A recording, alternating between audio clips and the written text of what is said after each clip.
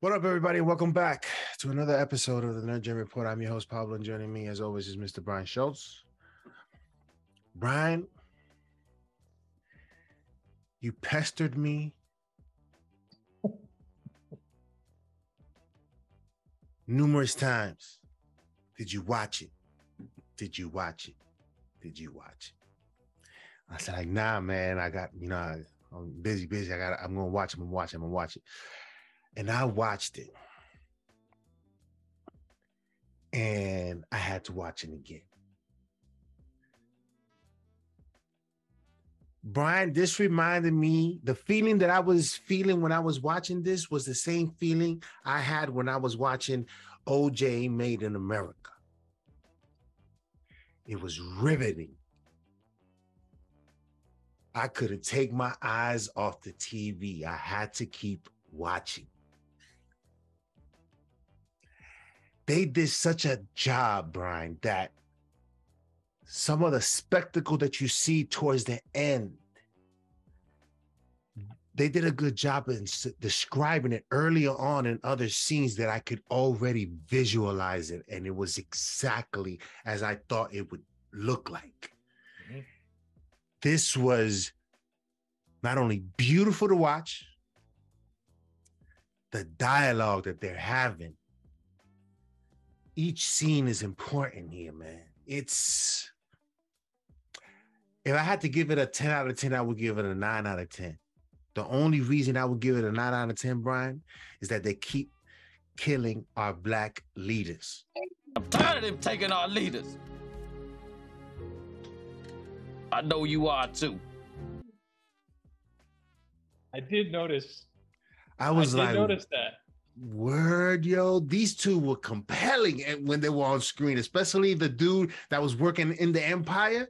I couldn't take my eyes off of him because the, the the the things that he would do and say, and the, and the facial expressions that, that they were like all dope to me. Um, but that's my own that's my take on the uh, on on this show, Brian. What's yours?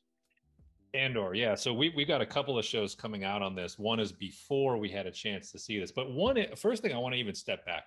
I am loving the structure of this show. So it is 12 episode season, but it's four three episode arcs. And so the first one definitely was like a slower burn.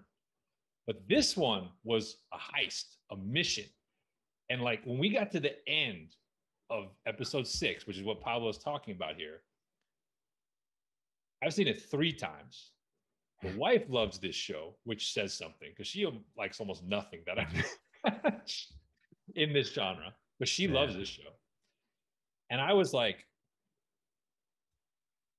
episodes four, five, and six to me are a masterclass in Star Wars, and it's a masterclass in storytelling. Like, because to your point, if you then part of me, I think I might do this this weekend. I might go back and watch four, five, and six in a row now that we have all three. Because remember, they released one, two, and three at the same time. So you could kind of binge those. But this show just coiled that spring, that planning process. Yeah. It it took its time to introduce you to all these characters, but by the time you got to the very end of six, you realized that they didn't waste any conversations. They didn't waste any of the dialogue. Every little thing they laid out came back around Yeah. in certain ways. So, first off, I would say to Disney, if you got a crew putting this out, nobody else in these departments has an excuse, in my mind, for bad VFX, for, for loose storytelling, and bad casting. Because other than Diego Luna, there's not really like a big name actor actress in this in this whole sequence but everybody's crushing it. Everybody is crushing it in the lines that they're given in the scenes that they're given.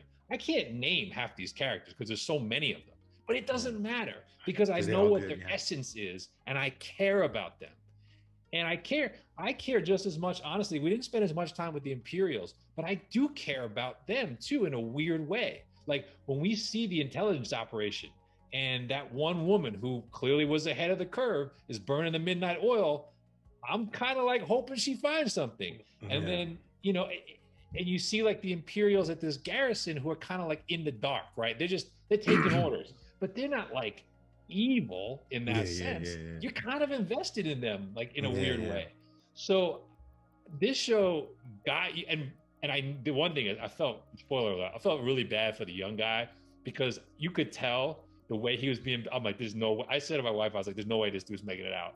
There's no Yeah. way this dude. I was like, but I care about this guy. He's a compelling actor. He's delivering these really important messages, and obviously, he's going to have an impact on Cassian Andor because of that diary that he took with him. And I'm like, I just That think, I like, I manifesto, yes. I was like, I know this guy's gonna go out in a painful way, and it's gonna hurt when he goes. But he get, he went out like after being a, after being a hero.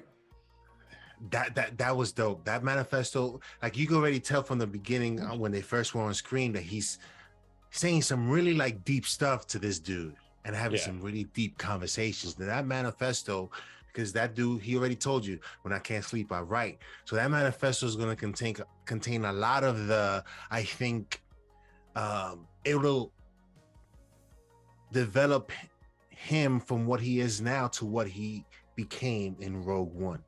Yes, I agree. And although I love their exchange at the start of episode six, where this is where I think Luna stands out because he, in the one hand, in one moment, he's like partially sympathetic to the kid as he's kind of nervous. But then when they have that exchange and he leans in, he says, "Do I look thankful to you?" I was. That's why I like this character. Yeah, yeah, yeah. Yeah, I like that scene where the dude uh he's getting dressed and his wife is dressing his kid. He's 12, he can dress himself. Yeah. That's what I mean. Like that scene is not wasted though, because the wife and the kid become hostages, yeah. and you see like here's this hungry imperial officer who is the caricature of, in some ways, of everything bad. But at the mm-hmm. same time, you're like, this isn't Darth Vader. This isn't the Emperor. Like, you know, and then he gets caught up in this, and like he, you see like the shock of the lieutenant's betrayal to him at the end. And it's like the, the character in one episode like paid. It paid off like from start to finish, which then leads to to your point. The truth, like kind of the the Aldhani civilization, their culture, the discussion of the eye. When they started doing an episode in four and five, I was like, oh, it's like a convenient cover for the mission. Mhm. But then when they threw it across the sky, I was like, this looks cool. And then when it became central to the mi- then when it was like, oh, the eye itself is central to the mission and the escape, I was like, this is Star Wars, man. That moment of like he pulls the lever, these outmanned, outgunned rebels with a cause who are running from the TIE fighter. I'm like, this is the essence of Star Wars right here. Yeah. This is it. Like, thi- and this chase scene was as good as anything in the mo- we've gotten in the movies in like the last 10 years. Yeah. Yeah. It was dope, man. It was just dope. It was just dope. It's like I've told people like, yo, you gotta watch Andor. Yo. You gotta watch Andor. It's crazy. When I talk to people, I'm like, you gotta watch this. Yo, all I can tell you, you gotta watch it. This is how good this show is. Uh, let us know in the comment section below if you guys agree. Um, anything else, Brian, before we wrap this one up? Yeah. Um, be be real careful uh, having a conversation with Cassian Andor because when he when um when he drew on that guy, I was like, man, this dude, this dude's body count is gonna be really high by the time we get to Rogue One. That's that's that's Micro from Punisher. That's Micro from Punisher. He's he's he's good. He's fantastic in that. Yo, he's fantastic that. So But I was it- like, that exchange was perfect. And then like, I, but then it, it still came as a bit of a shock when they were like going back and forth. I was like, all right, how's he gonna resolve this? And then like right in the middle of conversation, he just draws the blaster, takes him Brian, out, and I'm just like, um, yeah. Did you wonder if he was testing Andor? Little because that guy had been testing him the whole time. That guy clearly like had a weird like kindred spirit, but also rivalry with him, like all through the three episodes. Um, but yeah, just the way they like wrote the scene, and it was it was kind of going slow, not a lot of music, and then all of a sudden, just like out, Yeah, yeah, yeah, yeah. yeah. Like, I, I I had a feeling that was that was it was either gonna been it was either gonna going to be that dude getting on uh Andor, like making a move, but he just did it. He just did it. Andor just did it. And doesn't he remind you of like a cross between Antonio Banderas and Al Pacino? Yeah, a little bit. Yeah, for sure. He, he's he's a great he's a great actor. He's also a great like facilitator. Like he plays off really well. He's not dominating these episodes, even though he is the star. No, he's, he's doing Yeah. a great job. And I think I think the other thing I loved about this mission, which goes back to something that I knew would be true of this show, is this could we knew Andor would get out of this alive. Yeah. But other than that, any outcome of this was possible. Like if you told me you got to the end of this and the mission failed and the trawler was shot down and destroyed and he escaped, I said, I believe it. I believe it. It- that could work. Yeah. Like That's what I love. It's unconstrained. So the drama is real. That's why when you talked about the characters who are killed, like it hurts because you like you don't necessarily always see it. You know they're not all getting out of it. Mm, yeah. But when it happens or how it happens is not cliche. Yeah, yeah. This this show is really well done, man. Oof, the, the performances here are just that scene when the girls are underwater. Oh man, Great shoot, great cam work too. Yeah, that like um, yeah. You do stuff like that, you do it, and you do it right. It's gonna be dope. Yep. So I heard Tony Gilroy talk about it on a podcast, and he said something that I thought was really interesting, which is he said that he didn't want to do this. They've been trying to get him to do this for years. Who's Dan Gilroy? His brother. Okay, Yeah, so that they write together, and so like, Okay. Like so Dan wrote most of the second arc. Tony wrote the first arc, but Tony's the showrunner. got it. So he was talking about the show. He's like, they've been trying to get him to do it. He didn't want to do it. But he said, I don't think we should do this. He's like, but if we did it, here's how I would do it. But one of the things he apparently said was, it basically has to be budgeted like a film. He's like, it's not worth it if you don't do it that way. So he's Yeah. like, in the podcast, he was like, after Rogue, this is how this works. He's like, after Rogue, I had a lot of credibility. And when they finally came around and were kind of like, we're willing to put up the money to, to do it, he's like, okay, I, I can make this work. But he said, I got on set. He's like, we had ideas, we had some stories. He's like, my brother and I got on set. And he's like, there's all these British stage actors who I didn't know and had never worked with. But he's like, I was told by some of my friends in the industry, they're like, you're going to love these people. So he's like, I get on set and we start. And he said, I realized quickly that these people were capable of anything.